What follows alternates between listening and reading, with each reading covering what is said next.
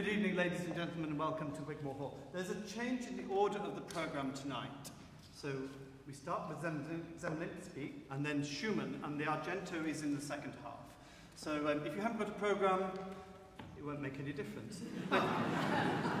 if you have, just flick through to find the Schumann pieces later on in the programme. Now, tonight is being live streamed on our uh, website, so you are all taking part. So with that in mind, please double check mobile phones and no coughing, of course, please. Um, and during the interval, there was a 90-minute clip which is being played telling you about the, the concert. And so you could try and watch it during the interval if you're lucky and get on the Wi-Fi. Um, otherwise, look at it later on and it will be there forever and ever. So you can go back and look at that. So double check mobile phones now and last cough, please. Thank you.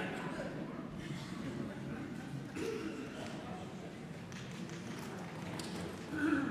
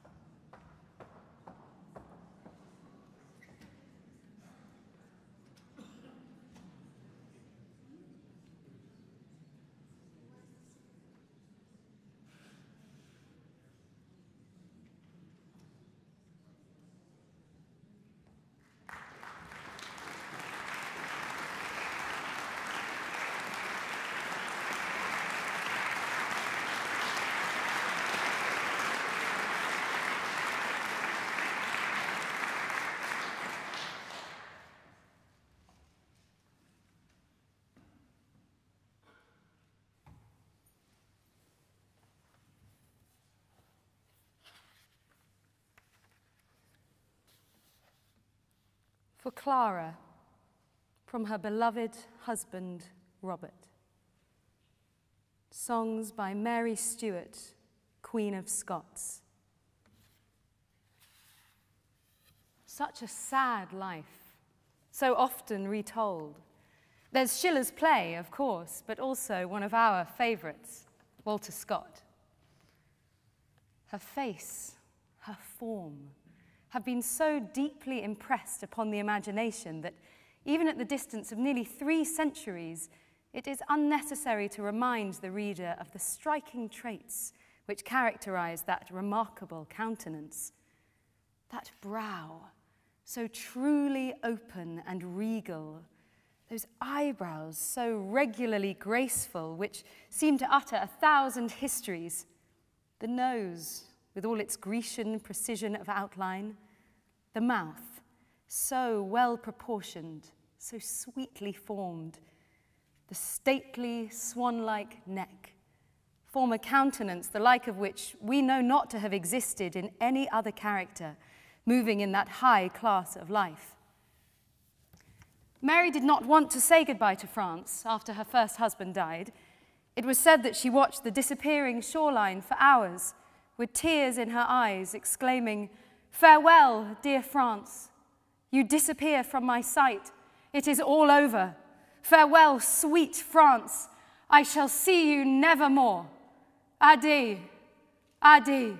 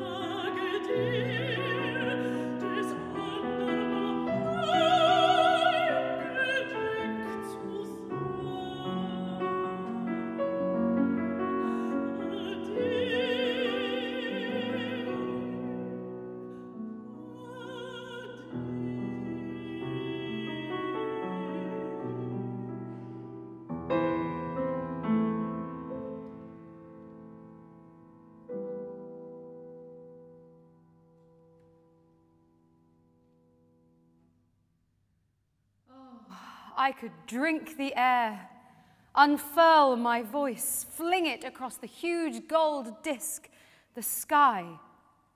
I can see the sun. I'm climbing up and out and wide and free. I don't know how it's happened, but I am free. Oh, thank you. Thank you, trees, your great wise histories, your papers coarse and shiny, thick deep green leaves block out the painful world. I'm dreaming I'm held now by the heavens, held up high. My eye is winging wide across the light to where the border of Scotland lies. And there, that cloud there, he's sailing. Sail to France and say hello to all my memories from me. Down here, a captive. Journey well. Your road is yours. You're free in air. No queen can you be subject to up there. In his hands and in his full power, I put my son, my honor, and my life. My country, my subjects, my soul, all subdued to him, and have no other will for my scope which, without deceit, I will follow in spite of all envy that may ensue.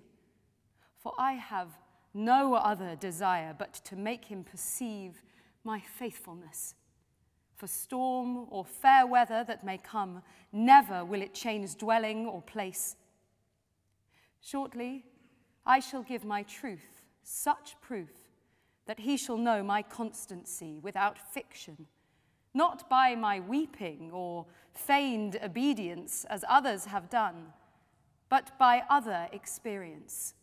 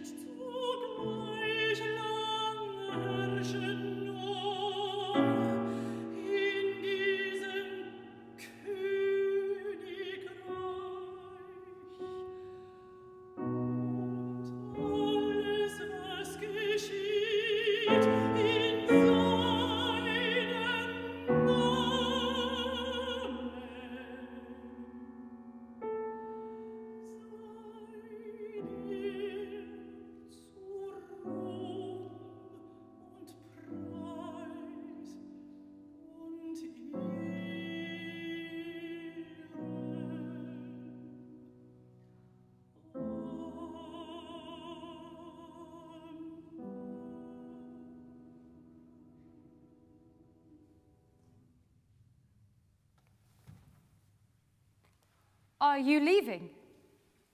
Before you do, you could at least release my heart from its uncertainty. You see, in prison, you have me confined. No news gets through. This prison is my world. It's been a month, and a long month, since I was taken by surprise by 40 men, commissioners, who rushed into this prison and set up court completely unannounced. I had no lawyer, but they made me answer their formal charges their words bristling like traps. I was in shock, could barely speak, but I, from memory, replied as best I could. Then, like ghosts, they were gone. Since that day, nothing. Silence. Now, I look into your eyes. Is my fate there? Who won the vote? My friends or enemies? And should I live in fear or in hope? I breathe the air inside an English prison. In what ways do these laws help me in here? I'm not from England. I don't know your laws. I'm not a citizen of this country. I am queen of a completely different state. Who is my peer? Kings and queens are my only peers. This letter asks her a great favour. I ask her for an audience in person. We've never met. I've never seen her face. The men that judged me, they were not my peers. No man in England shares my royal birth. I can't accept their judgment of my case. My only equal is Elizabeth. My only equal breathing England's air. Your queen alone is of my blood, my sex. To her alone, a sister, queen, and woman, can I speak freely. I ask her for a second favour, one inhuman to refuse. She took my crown, my freedom, and my life from me. Perhaps my head is next but not my soul. She cannot want my soul. And for some time, I have been asking for my basic right. I wish to practice my religion. My days are numbered now. I'm waiting for my death. Dundrennan, May 15th, 1568. To the high and mighty Princess Elizabeth, you are not ignorant, my dearest sister, of great part of my misfortunes, but these which induce me to write to you at present have happened too recently yet to have reached your ears. I must therefore acquaint you as briefly as I can that some of my subjects, whom I most confided in, and had raised to the highest pitch of honour, have taken up arms against me and treated me with the utmost indignity. By unexpected means, the Almighty Disposer of all things delivered me from cruel imprisonment I underwent. But I have since lost a battle in which most of those who preserved their loyal integrity fell before my eyes. I am now forced out of my kingdom and driven to such straits that, next to God, I have no hope but in your goodness. I beseech you, therefore, my dearest sister, that I may be conducted to your presence, that I may acquaint you with all my affairs. So she is strong, and I am weak. So be it. Let your tyrant queen use force, slaughter me to make her crown secure. That a queen's head could come off like anyone's is not a precedent I'd be keen to set. But if she murders me, the world will know she used brute force because she was scared of justice. And everything she hides behind her mask will be exposed. And it won't look good. It won't look like holiness or virginity or the law, but just like tyranny, which is what it is.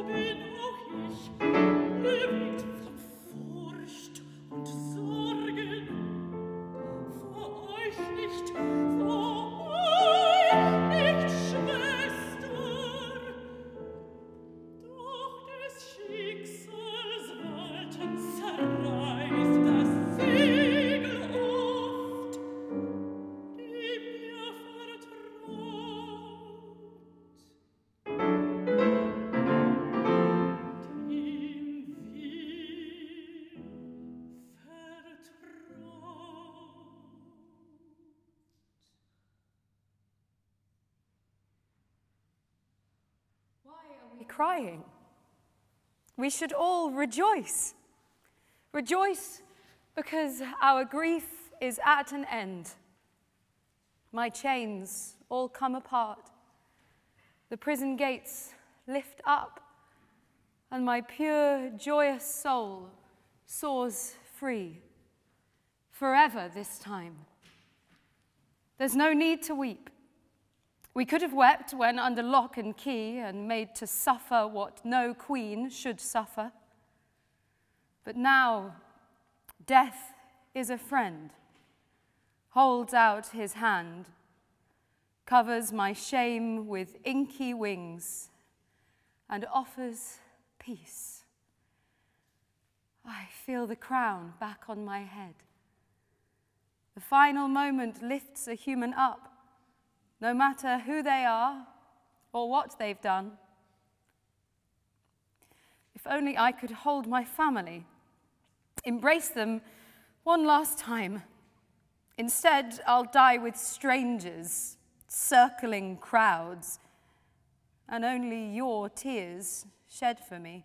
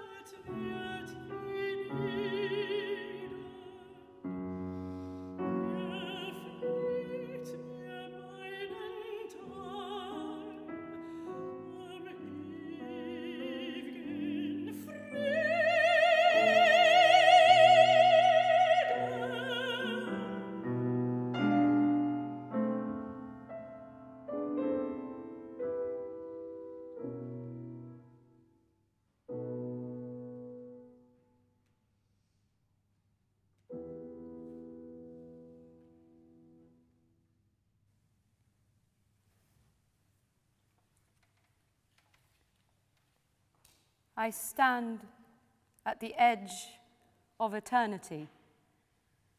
All my affairs on earth are set in order.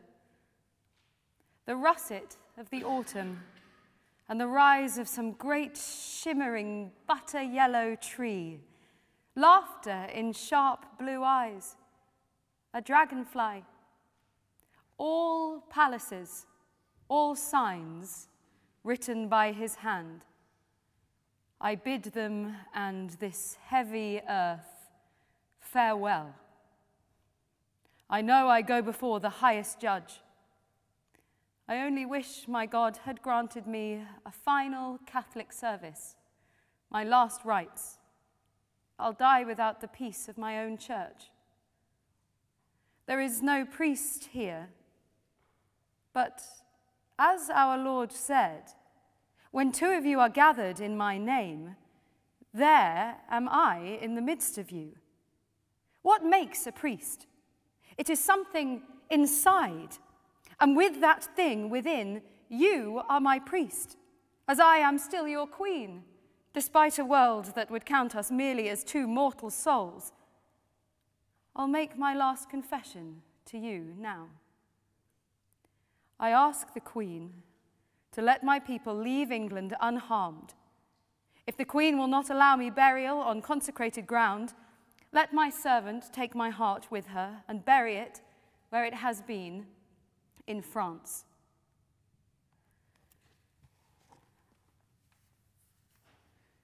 I've told the truth. I am ready for eternity. The hand of the clock cuts swiftly through my final minutes and I have made my full confession. My early death redeems my early life. He's granting me atonement. In manus tuus domine confide spiritum meum. In manus tuus domine confide spiritum meum. In manus tuus domine confide spiritum meum. In manus tuus domine confide spiritum meum. Oh,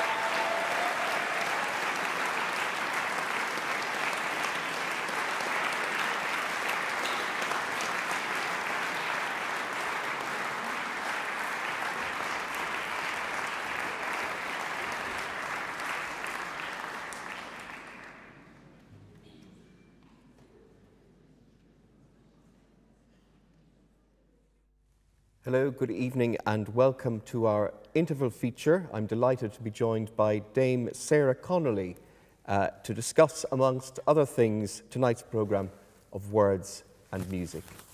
Sarah, it's a great joy to have you here. Before we talk about the concert itself and the programme this evening, let's talk a little bit about you. Mm.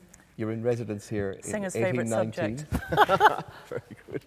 Uh, but Fricka in London and in Madrid, this residency here, recitals all over the world. Yes. It's been a busy season. It has. I've tried to keep the repertoire um, with all my European recitals sort of interchangeable so that I'm not doing new repertoire for each concert. Um, but it's been a wonderful journey with Julius Drake um, over the uh, last couple of months. And it's a continuing journey because we're, we're, we're still in the middle of a, um, a group of recitals.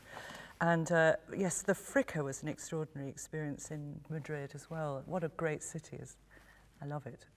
And Covent Garden as well. We yes, very, very different productions. Um, uh, Keith Warner's production at the Royal Opera House was more of a sort of uh, very much a, an involved, detailed play.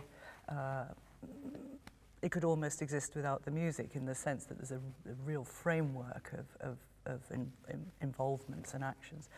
Whereas Roberts is, is more stylized and it's, it's more about a big political issue, which is called the eco ring. In that case, it's, it's, uh, the river Rhine is dried up at the beginning, and uh, it's, it's all about how we waste things and waste life, and, and, and there's, there's, it's much, a, much more of a clear um, story within a story there.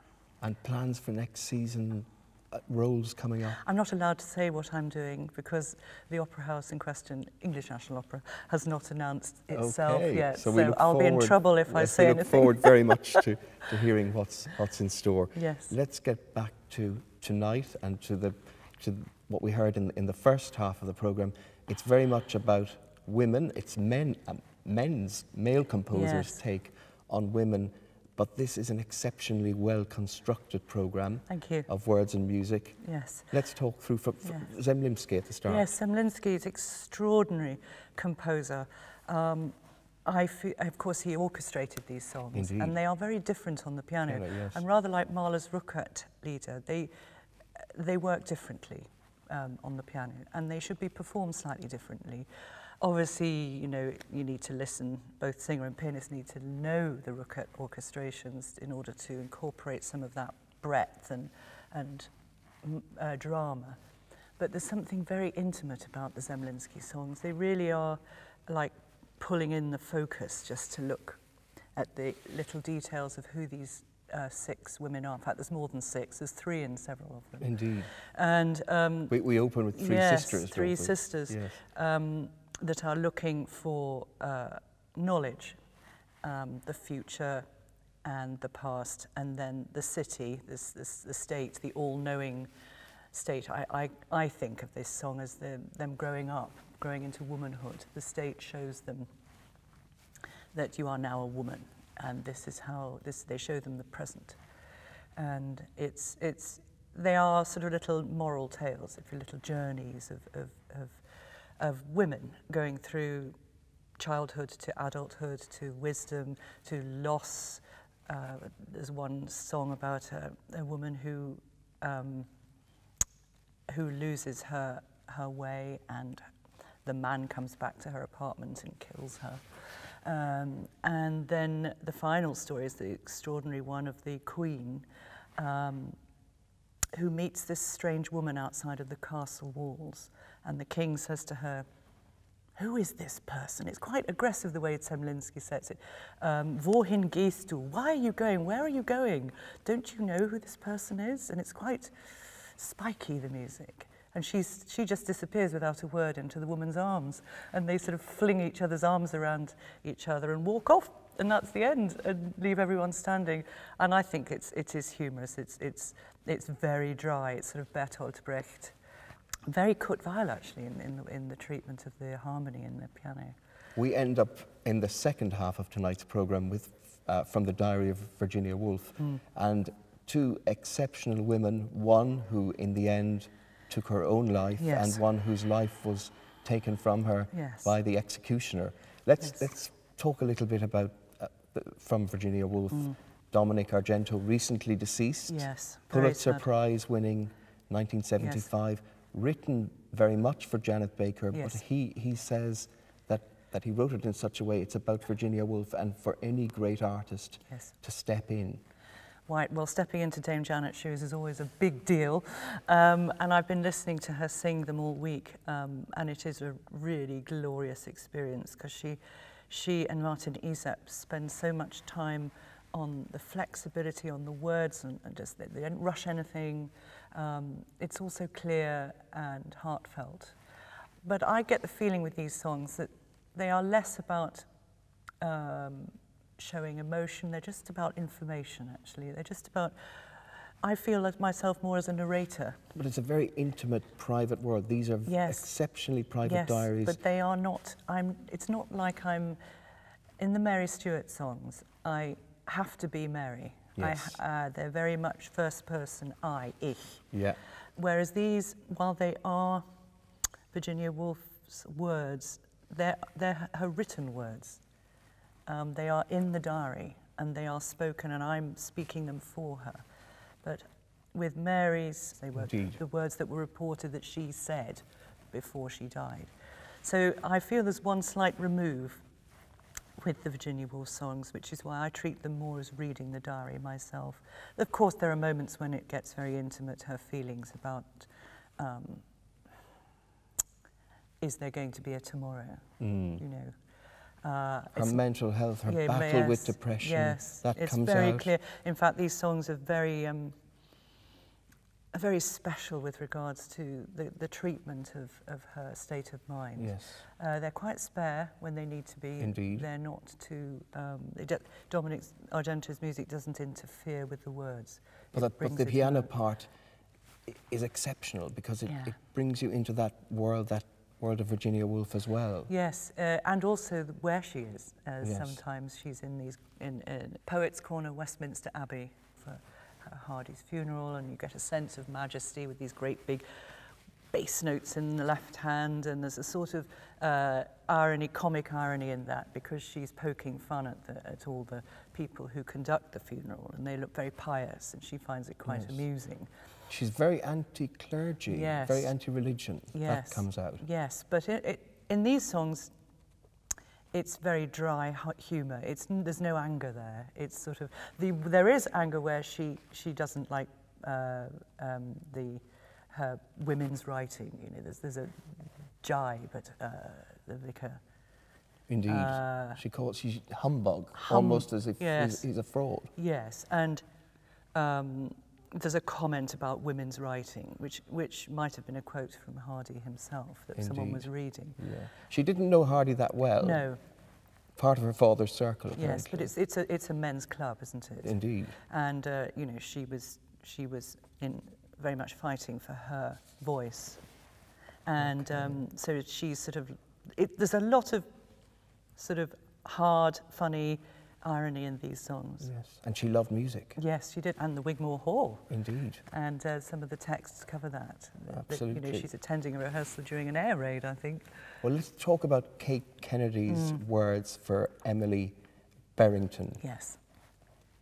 Well, um, it, I I did these songs with Julius uh, a few years ago here, um, and I was just struck by the the wonderful choices of text between the songs that take you on this journey to all the places she has visited and all the all the people she knows, and um, vignettes from her stories, from her books, and her observations, particularly observe, observe, is something that comes through her uh, songs. That that is the most important aspect of a diarist Indeed. is to be an observer. there's an interesting entry on Rome. Mm. Yes, she she talks about the, the ladies in Rome and the, the, the difference Having between the rich and the yes. poor, and the black wispy wispy haired women, um, who are a very different uh, kind of person to the well heeled um, British ladies, or not just British, but you know European ladies. Um, but she notices that there's another life going on there that isn't isn't in of a parity, isn't the same. So she uh, and again, Dominick Argento treats that, and he just almost takes the piano away to show the, the humility with which she's saying, isn't it a shame that, Yes. that these poor women have nothing? Um, uh, so the, the piano writing is extraordinarily colourful and really supports her stories and Yes. her um, observations. And, and the opportunities you're given throughout the cycle to cover, to colour words Yes. and pauses and emphasis. Yes, yes. It's really wonderful. especially the menu at the end where she talks about uh, writing the word haddock down gives Yes. it its own sense of importance Yes. and, that and it wouldn't otherwise have. the, the, uh, the entry on the war. Yes. Gosh, that's an extraordinary song. I've never heard an. I mean, it's Britten-like in places, um, and these sort of reiterated high notes in the in the piano are sort of sort of trembles of fear almost. Um, a sort of stab of, of fearful anticipation of what might happen at any time. Um, and, of also her she, own. there was huge fear, Yes. probably amplified by her own, her own state of mind at yes, times. Yes, It's almost like a sort of conscience. It's like a ringing bell um, in, in, the, in the piano part, which is, is literally like a sort of uh, a stream of consciousness going on the whole time while we're singing about something else. The war, the war, the war, what will happen? So there's a, a real sense of anticipation and fear in that song. And the, the piano music is, is again, quite very spare. And when she talks about her parents, it's very warm Yes. and full of lovely major sevenths and quite schmaltzy in, But in a lovely way. Argento said that's more about his parents because Yes. he, he pointed out that her Clearly. parents were probably unlovable in, in some ways. Yes, yes. Uh, but, but that's clearly a very, um, it stands out for being something that's very heartfelt in his writing, yes. We're going to talk about Schumann and Maria Stuart in a minute, but of course, Dominick Argento was possibly influenced by Schumann in his choice of eight songs and a narrative through a woman's life. Exactly. For Virginia Woolf. Frauenliebe und Leben as well, and, and here the, the songs of Mary Stuart. Schumann was fascinated by all things Scottish as well, the, the Hochländisches Wiegenlied and all these Robert Burns um, poems. And I thought it was an interesting thing for this concert, knowing that we were um, going to pair it with the Dominick um, Argento songs, to have some words and music um, happening with the Mary Stuart songs.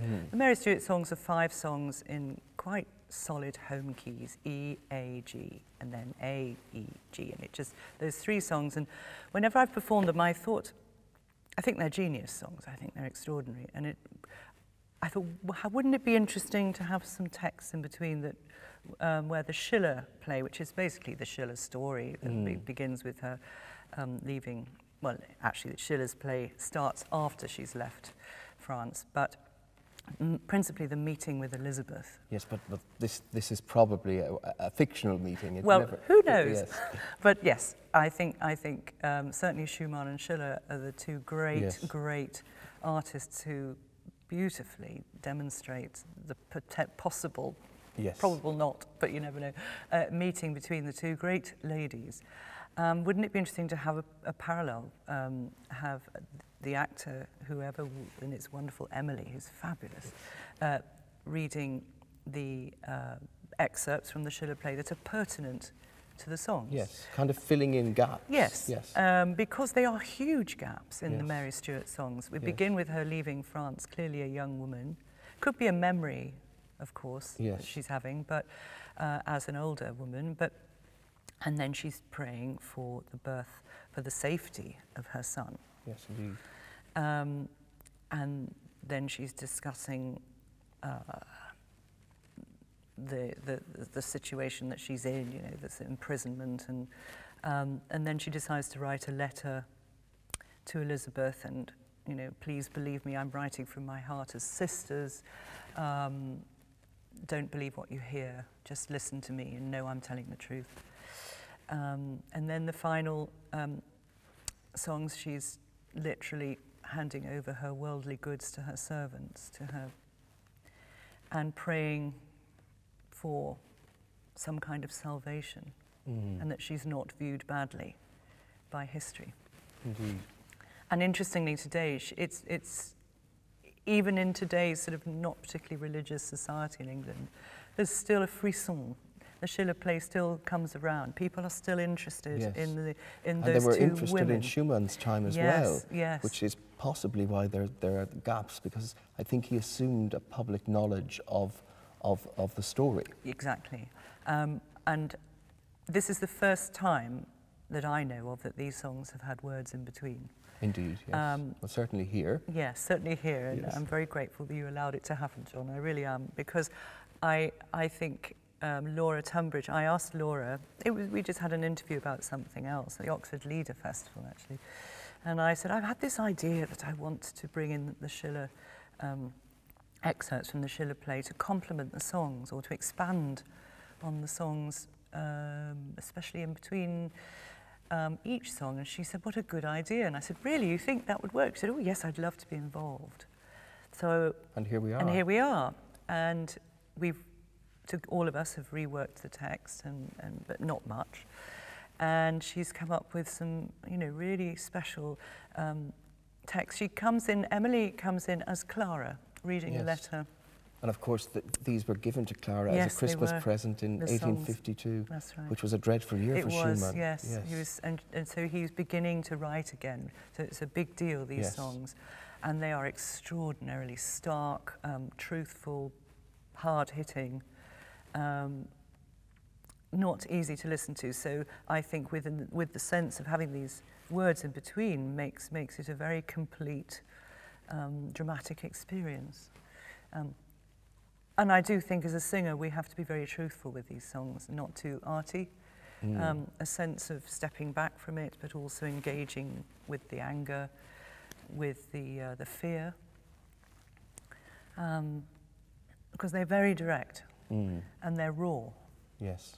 Um, so I, I think this is a really interesting experiment, and I'd be interested to know if people love it or hate it. You know, it's, Well, uh, it's, it's exceptionally intelligent programming to, to put all of this together. is that not a euphemism for oh my God, this is this is too difficult? No, it's no, not. no, it's, it, I, it, it's, it's a wonderful concept. Thank you. It's, it's a week since International Women's Day. It's Yes. a pity that we didn't Yes. coincide with that in a way.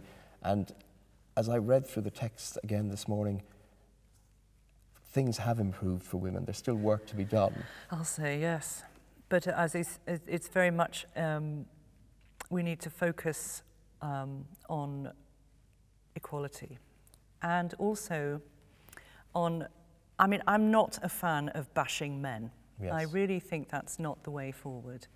Um, I think we need to work collaboratively, um, and men need to understand, obviously, the history of, of suppression and oppression.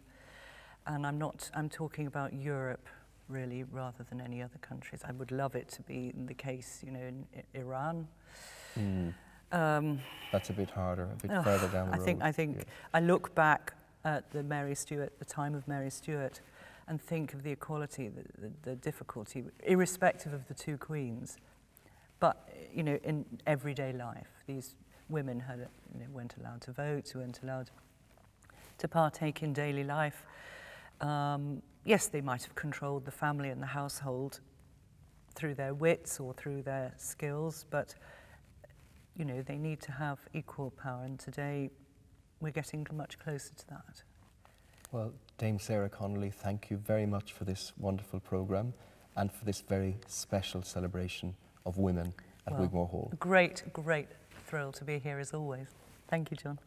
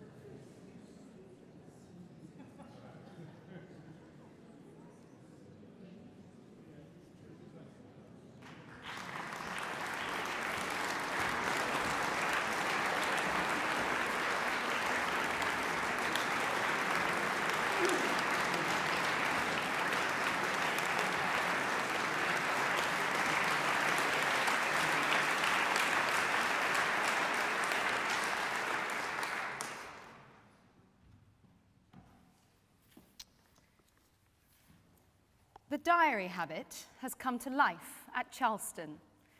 Bunny sat up late on the old year's night writing, and Duncan came back with a ledger bought in Lamb's Conduit Street. The sad thing is, we don't trust each other to read our books. They lie like vast consciences in our most secret drawers. This attempt at a diary is begun on the impulse given by the discovery in a wooden box in my cupboard of an old volume kept years ago and still able to make us laugh. This, therefore, will follow that plan, written after tea, written indiscreetly, and, by the way, note here that Leonard has promised to add his page when he has something to say. His modesty is to be overcome.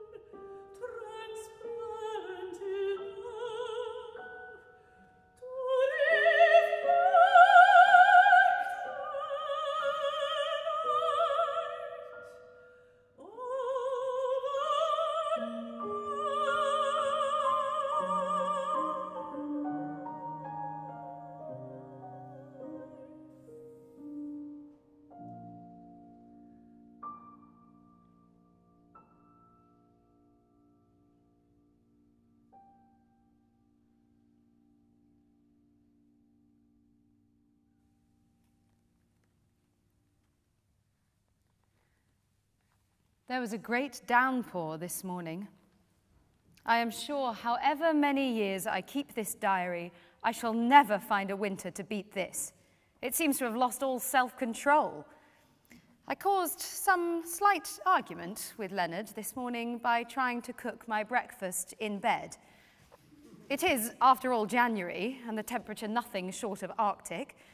I believe that the good sense of the proceeding will make it prevail, that is, if I can dispose of the eggshells. Only the other day, everyone was going to hear Bertie Russell lecture, but I preferred to hear the songsters in Trafalgar Square. The steps of the column were built up, pyramid fashion, with elderly, respectable householders grasping sheets of music, which they rendered in time to a conductor on a chair beneath, with great precision. It was lifeboat day, and the elderly people were singing sailors' shanties and tom bowling. This seemed to me a very amusing and instructive spectacle, and being famished for music, I could not get past, but stood and felt thrilled with an absurd visionary excitement, and then walked over Hungerford Bridge, making up stories. When I went home, I found a barrel organ was playing in the middle of the square. I bought six bundles of coloured tapers. The stir and colour and cheapness pleased me to the depths of my heart. The two episodes led me to think. In fact, I have written an article about street music, so you can imagine what a flutter is going through the musical world. It's probably reached Dresden. I will treat you to a flavour of some of them, as I have every confidence that my remarks will revolutionise the whole future of music. Street musicians are counted a nuisance by the candid dwellers in most London squares, and they have taken the trouble to emblazon this terse bit of musical criticism upon a board which bears other regulations for the peace and propriety of the square. No artist, however, pays the least attention to criticism, and the artist of the street is properly scornful of the judgment of the British public it is remarkable that, in spite of such discouragement as I have noticed, enforced on occasion by a British policeman, the vagrant musician is, if anything, on the increase. The German band gives a weekly concert as regularly as the Queen's Hall Orchestra. The Italian organ grinders are as faithful to their audience and reappear punctually on the same platform. And in addition to these recognized masters, Every street has an occasional visit from some wandering star. I have seen violinists who were obviously using their instrument to express something in their own hearts as they swayed by the curb in Fleet Street. And the copper, though rags make it acceptable, was, as it is to all who love their work, a perfectly incongruous payment. Indeed, I once followed a disreputable old man who, with eyes shut so he might better perceive the melodies of his soul, literally played himself from Kensington to Knightsbridge in a trance of musical ecstasy from which a coin would have been a disagreeable awakening. It is indeed impossible not to respect anyone who has a God like this within them. For music that takes possession of the soul so that nakedness and hunger are forgotten, must be divine in nature. Those strange heathens who do the bidding of no man and are inspired by a voice that is other than human in their ears are not really as other people, but are either gods themselves or their priests and prophets upon earth. Certainly, I should be inclined to ascribe some divine origin to musicians at any rate, and it is probably some suspicion of this kind that drives us to persecute them as we do. If, instead of libraries, philanthropists would bestow free music upon the poor, so that at each street corner the melodies of Beethoven and Brahms and Mozart could be heard, it is probable that all crime and quarrelling would soon be unknown and the work of the hand and the thoughts of the mind would flow melodiously in obedience to the laws of music. It would then be a crime to account street musicians or anyone who interprets the voice of the God as other than a holy man, and our lives would pass from dawn to sunset to the sound of music.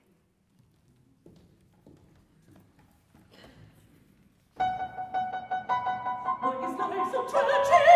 Why, why, why, why?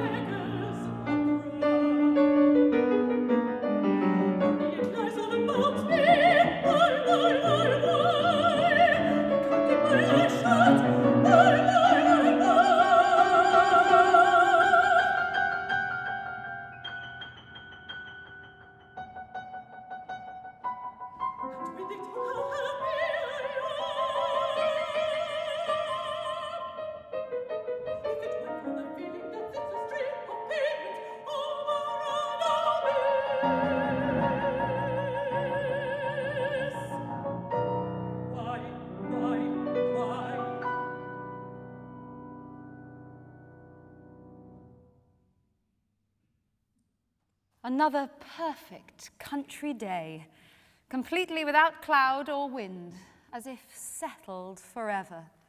Watched a dog herding sheep, rooks beginning to fly over the trees, both morning and evening, sometimes with starlings. I saw a clouded yellow in the garden, a very deep yellow, the first for a long time. Clouds brooded over the sea, and it began to rain at tea. Then great thunderclaps and lightning, difficult to distinguish thunder from guns. I walked home over the downs, red sky over the sea, woods almost as thin as winter, very little colour in them. German prisoners walked across the field. They are now helping on this farm. Corn over the road still standing in shocks, uncarted. Servants stayed at Charleston all night, say that there was gunfire as well as thunder. When I am back in London, I wander about the dusky streets in Holborn and Bloomsbury for hours. The things one sees and guesses at, the tumult and riot and busyness of it all. Crowded streets are the only places, too, that ever make me, what in the case if another one might call, think. Now I have to decide whether I shall go up again to a party at Gordon Square where the Aranyi sisters are giving a violin and piano recital. On the one hand, I shirk the dressing and the journey. On the other, I know that with the first chink of light in the hall and chatter of voices, I should become intoxicated and determined that life held nothing comparable to a party. I should see beautiful people and get a sensation of being on the highest crest of the biggest wave, right in the center and swim of things. On the third and final hand, the evenings reading by the fire here, reading Michelet and the Idiot, and smoking and talking to Leonard in what stands for slippers and dressing gown, are heavenly too. And as he won't urge me to go, I know very well I shan't. Besides, there is vanity. I have no clothes to go in. It isn't as if I'm starved of music. Every afternoon for a week, I've been up to the Aeolian Hall, taken my seat right at the back, put my bag on the floor, and listened to Beethoven quartets. Do I dare say listened? Well, if one gets a lot of pleasure, really divine pleasure, and knows the tunes, and only occasionally thinks of other things, surely I may say listened. One of the things I decided as I listened was that all descriptions of music are worthless and rather unpleasant. They are apt to be hysterical and to say things that people will be ashamed of having said afterwards. Sir Henry Newbolt confessed to me that music, especially the music of strings, moves the fount of poetry in him. And something always comes of a concert, something will come this afternoon, he assured me as a priest foretelling a miracle or a conjurer producing a rabbit. Today they were playing Haydn, Mozart, Brandenburg Concerto, and the Unfinished. I dare say the playing wasn't very good, but the stream of melody was divine. It struck me what an odd thing it was. This little box of pure beauty set down right in the middle of London streets. And the people, all so ordinary, crowding to hear as if they weren't ordinary at all, or had the ambition for something better. Opposite me was Bernard Shaw. There was Sir Claude Phillips, the art critic. Towards the end of the concert, when the lights were still low, the old goat, Sir Claude, only kept by the tightness of his white waistcoat from gushing entrails all over the carpet, took it in his head to leave. The whole audience saw him move down the gangway. Suddenly he disappeared. There was a sound of coal sacks bounding and rebounding, then dead silence. He had fallen down a complete set of stairs, but is not hurt.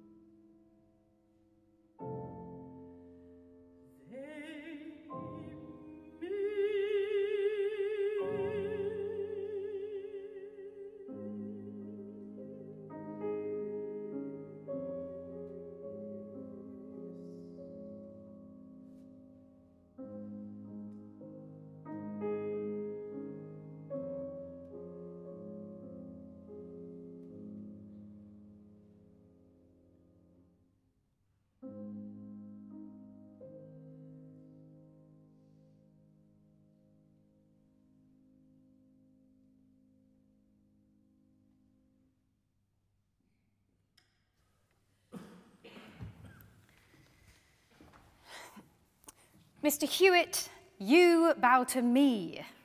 It was evident at once that Miss Allan was the only one of them who had a thoroughly sound knowledge of the figures of the dance. After the lancers, there was a waltz. After the waltz, a polka. And then a terrible thing happened. The music, which had been sounding regularly with five minute pauses, stopped suddenly. The lady with the great dark eyes began to swathe her violin in silk, and the gentleman placed his horn carefully in its case. They were surrounded by couples imploring them in English, in French, in Spanish for one more dance, one only. It's still early. But the old man at the piano merely exhibited his watch and shook his head. He turned up the collar of his coat and produced a red silk muffler which completely dashed his festive appearance. Strange as it seemed, the musicians were pale and heavy eyed. They looked bored and prosaic as if the summit of their desire was cold meat and beer, succeeded immediately by bed. Rachel was one of those who had begged them to continue. When they refused, she began turning over the sheets of dance music which lay upon the piano. The pieces were generally bound in coloured covers with pictures on them of romantic scenes gondoliers astride on the crescent of the moon, nuns peering through the bars of a convent window, or young women with their hair down pointing a gun at the stars. She remembered that the general effect of the music to which they had danced so gaily was one of passionate regret for dead love and the innocent years of youth. Dreadful sorrows had always separated the dancers from their past happiness. No wonder they get sick of playing stuff like this, she remarked, reading a bar or two. They're really hymn tunes, played very fast, with bits out of Wagner and Beethoven. Do you play? Would you play? Anything, so long as we can dance to it. From all sides, her gift for playing the piano was insisted upon, and she had to consent. As very soon she had played the only pieces of dance music she could remember, she went on to play an air from a sonata by Mozart. But that's not a dance, said someone, pausing by the piano. It is, she replied, emphatically nodding her head. Invent the steps. Sure of her melody, she marked the rhythm boldly so as to simplify the way. Helen caught the idea, seized Miss Allan by the arm, and whirled around the room, now curtsying, now spinning about, now tripping this way and that with a child skipping through a meadow. This is the dance for people who don't know how to dance, she cried. The tune changed to a minuet. St. John hopped with incredible swiftness, first on his left leg, then on his right. The tune flowed melodiously. Hewet, swaying his arms and holding out the tails of his coat, swam down the room in an imitation of the voluptuous, dreamy dance of an Indian maiden dancing before her Raja. The tune marched, and Miss Allan advanced with skirts extended and bowed profoundly to the engaged pair. Once their feet fell in with the rhythm, they showed a complete lack of self consciousness. From Mozart, Rachel passed without stopping to Old English hunting songs, carols, and hymn tunes, for, as she had observed, any good tunes with a little management became a tune one could dance to. By degrees, every person in the room was tripping and turning in pairs or alone. Now for the great round dance, Hewet shouted. Instantly, a gigantic circle was formed, the dancers holding hands and shouting out, Do you ken John Peel? as they swung faster and faster and faster until the strain was too great and one link in the chain, Mrs. Thornbury, gave way, and the rest went flying across the room in all directions to land upon the floor or the chairs or in each other's arms, as seemed most convenient. Rachel went on playing to herself. From John Peel, she passed to Bach, who was at this time the subject of her intense enthusiasm. As the dancers listened, their nerves were quietened. The heat, soreness of their lips, the result of incessant talking and laughing, was smoothed away. They sat very still, as if they saw a building with spaces and columns succeeding each other, rising in the empty space. Then they began to see themselves and their lives, and the whole of human life advancing very nobly under the direction of the music. They felt themselves ennobled, and when Rachel stopped playing, they desired nothing but sleep. Susan rose. I think this has been the happiest night of my life, she exclaimed. I do adore music, she said as she thanked Rachel. It just seems to say all the things one can't say oneself. Rachel gave a nervous little laugh and looked from one to another with great benignity, as though she would like to say something but could not find the words to express it. Everyone's been so kind, so very kind, she said. Then she too went to bed.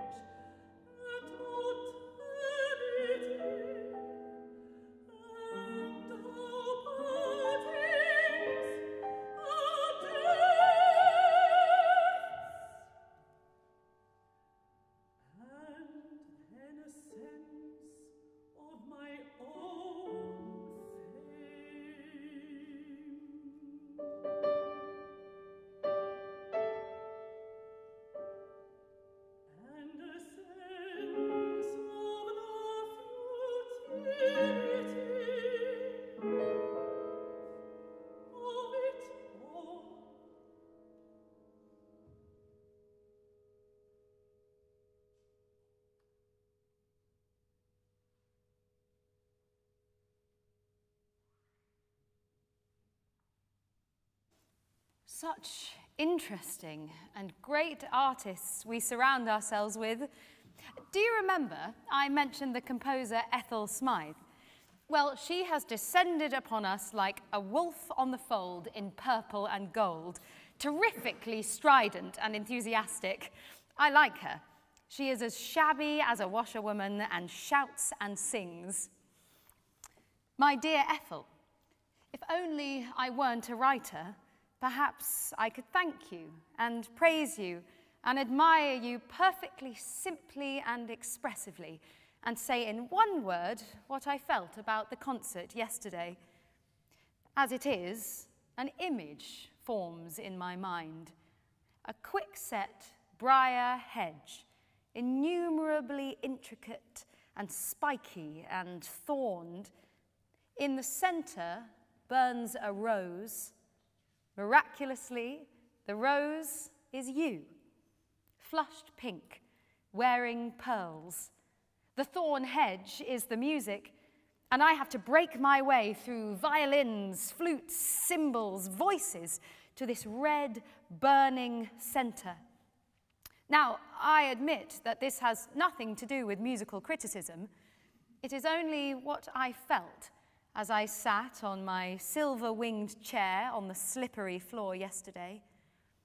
I am enthralled that you, the dominant and superb, should have this tremor and vibration of fire in you.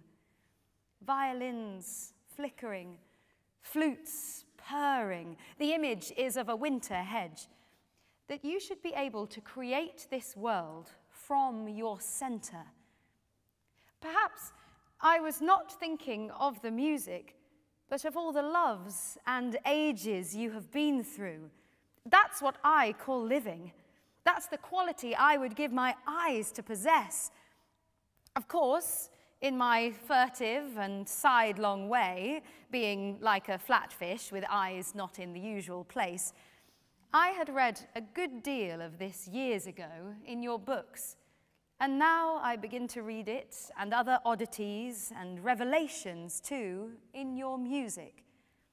It will take a long time, not merely because I am so musically feeble, but because all my faculties are so industriously bringing in news of so many Ethels at the same moment.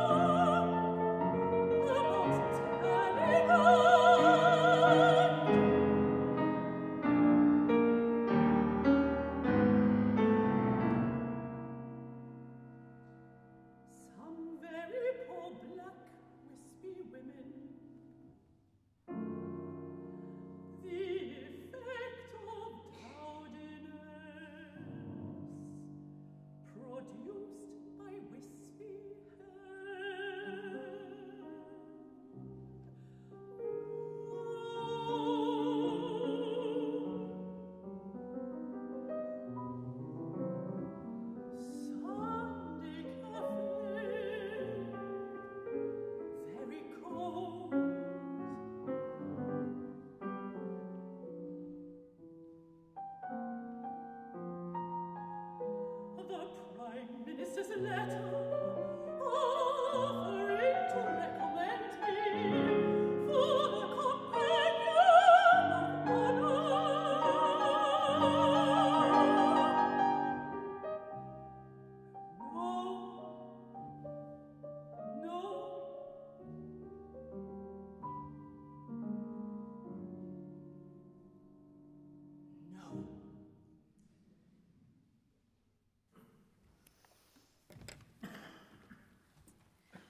We have now, finally, reached Germany.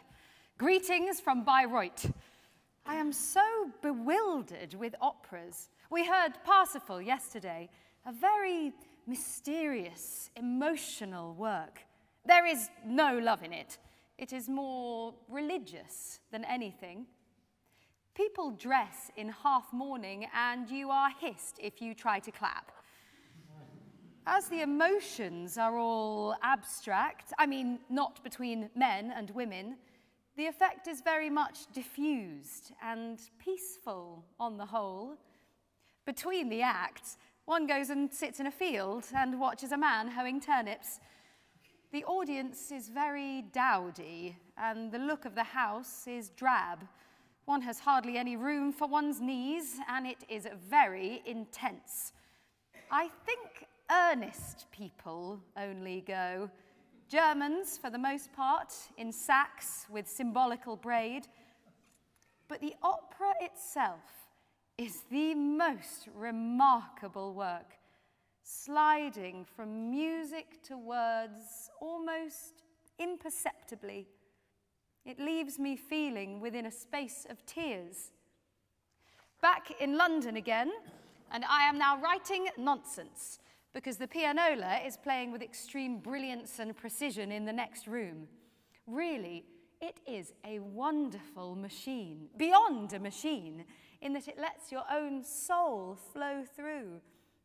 Marjorie Strachey, or Gumbo as she is known, is seated at the piano dressed in a tight green jersey, which makes her resemble the lean cat in the advertisement, singing O Dolce Amor to her own accompaniment the accompaniment ends, she flings her hands up and gives vent to a passionate shriek, crashes her hands down again, and goes on.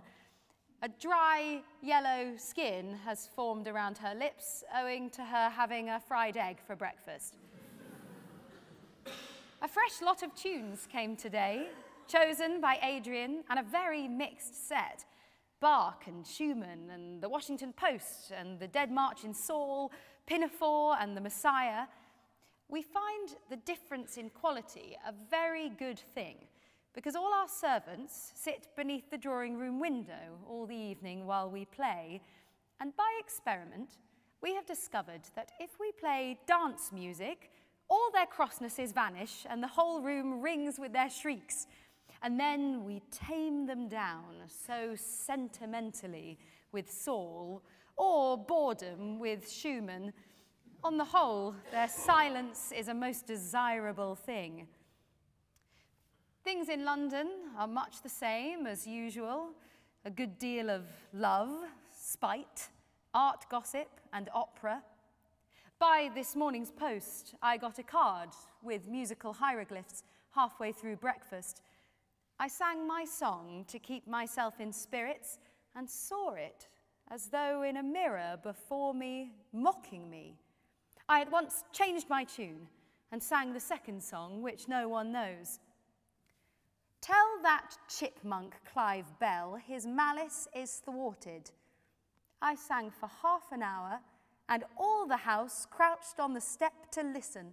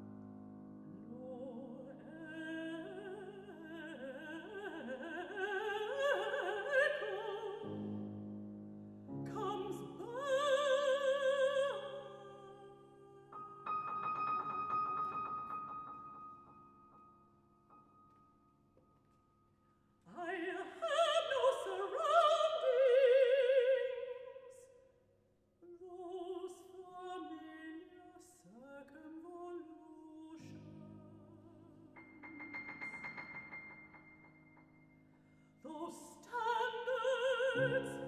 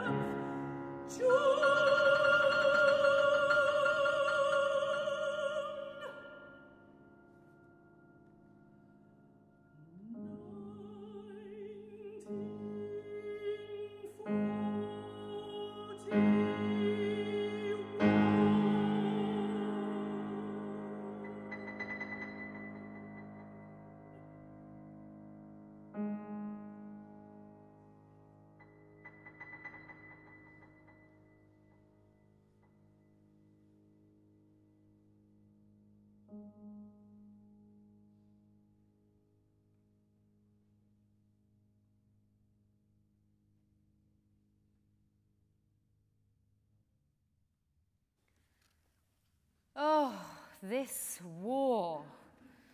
We went to a concert at the Queen's Hall in the afternoon. Considering that my ears have been pure music for some weeks, I think patriotism is a base emotion. By this, I mean I am writing in haste, expecting Flora to dinner, that they played a national anthem and a hymn, and all I could feel was the entire absence of emotion in myself and everyone else. If the British spoke openly about WCs and copulation, then they might be stirred by universal emotions. As it is, an appeal to feel together is hopelessly muddled by intervening greatcoats and fur coats. I begin to loathe my kind, principally from looking at their faces in the tube. Really, raw red beef and silver herrings give me more pleasure to look upon. To take our minds off politics, we all chatter hard about music.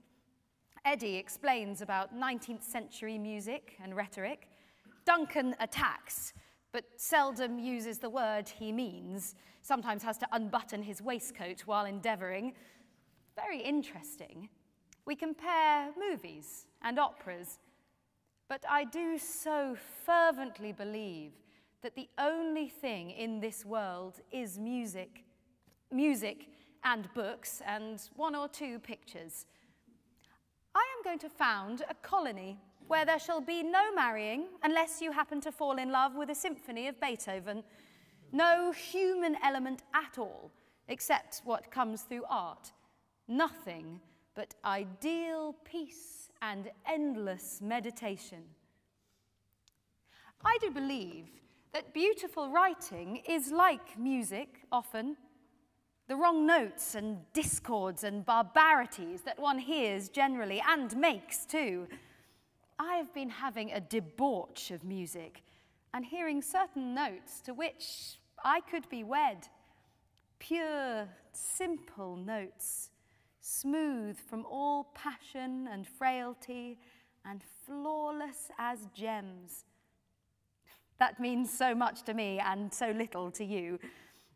Now, do you know that sound has shape and colour and texture as well? I read then and feel beauty swell like ripe fruit within my palm. I hear music woven from the azure skeins of air, and gazing into deep pools, I see youth and melancholy walking hand in hand.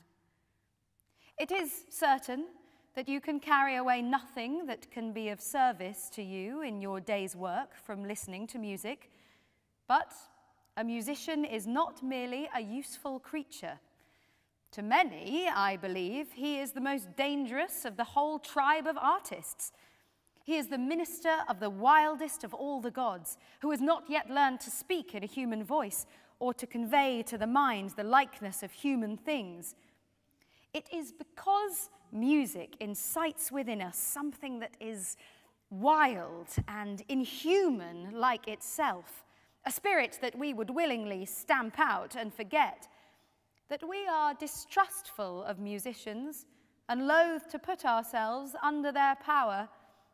In spite of all that we have done to repress music, it has a power over us still, whenever we give ourselves up to its sway, that no picture, however fair, or words, however stately, can approach. The strange sight of a room full of civilized people moving in rhythmic motion at the command of a band of musicians is one to which we have grown accustomed. But it may be that someday it will suggest the vast possibilities that lie within the power of rhythm, and the whole of our life will be revolutionized, as it was when man first realized the power of steam. Style is a very simple matter. It is all rhythm. Once you get that, you can't use the wrong words. But on the other hand, here I am, sitting after half the morning, crammed with ideas and visions and so on, and I can't dislodge them for lack of the right rhythm. Now, this is very profound, what rhythm is and goes far deeper than words. A sight, an emotion, creates this wave in the mind long before it makes words to fit it. And in writing, one has to recapture this and set this working, which has nothing to do with words. And then, as it breaks and tumbles in the mind, it makes words to fit it. I think then that my difficulty is that I am writing to a rhythm and not to a plot. Does this convey anything? And thus, though the rhythmical is more natural to me than the narrative, it is completely opposed to the tradition of fiction. And I am casting about all the time for some rope to throw the reader.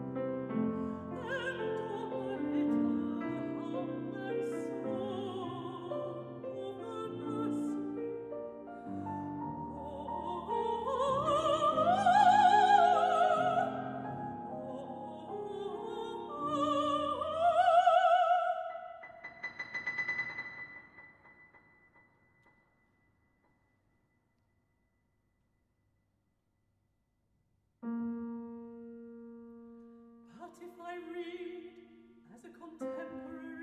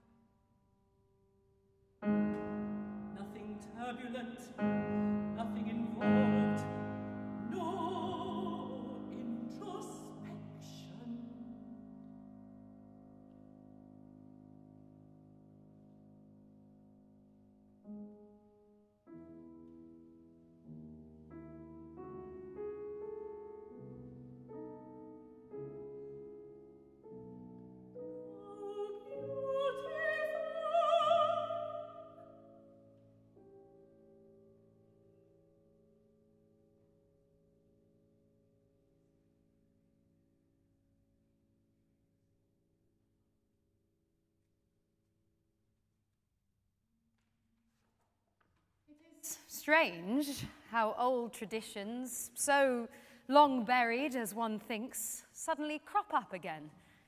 At Hyde Park Gate, we used to set apart Sunday morning for cleaning the silver table.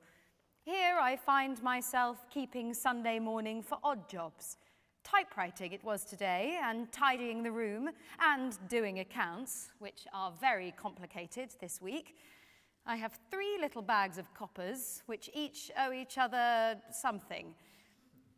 Shall I say nothing happened today, as we used to do in our diaries when they were beginning to die? It wouldn't be true. The day is rather like a leafless tree. There were all sorts of colours in it, if you look closely, but the outline is bare enough.